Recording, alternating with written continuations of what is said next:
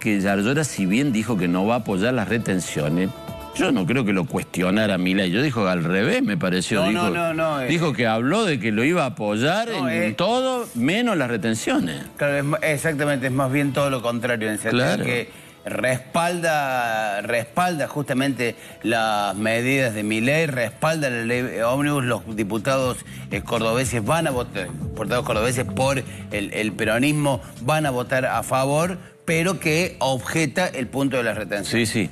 Por eso que a veces eh, poniendo un pero al medio, depende de qué lado esté cada una de las afirmaciones lo que vos querés decir. Si vos No, pero- decís, si vos decís, eh, sí, lo apoya, pero las retenciones parece una cosa. Si vos decís al revés, eh, está en contra de las retenciones, pero apoya todo lo demás.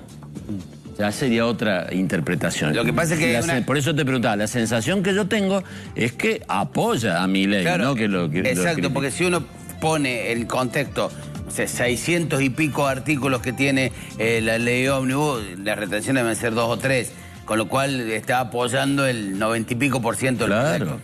Bueno, este, con lo cual no sé si después los esquiaretistas también se suman y Sí, demás, sí, porque es la postura que tienen los, digamos, tanto esqueretistas como yarzoristas. En esto hay una estrategia unificada de los referentes del No, peronismo no. cordobés. Ayer habló Yarzor del tema, ¿querés escucharlo?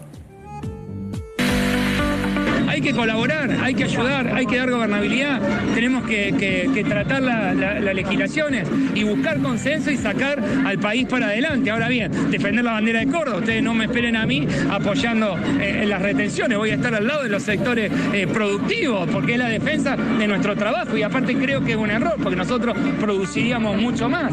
Ahora, creo que hay otras iniciativas que se pueden acompañar y ayudar a la institucionalidad. No me van a ver a mí poniendo palos en la rueda. Ahora, creo que en algunas decisiones sí son totalmente negativas. Yo veía ponerle retenciones de economías regionales, eh, ponerle retenciones de nuevo al campo. Ese es un camino en donde ya se equivocaron otros y son equivocaciones que no se pueden volver a repetir. Si ustedes me preguntan a mí, yo creo que la retención fueron, son y serán un pésimo impuesto y no las vamos a acompañar.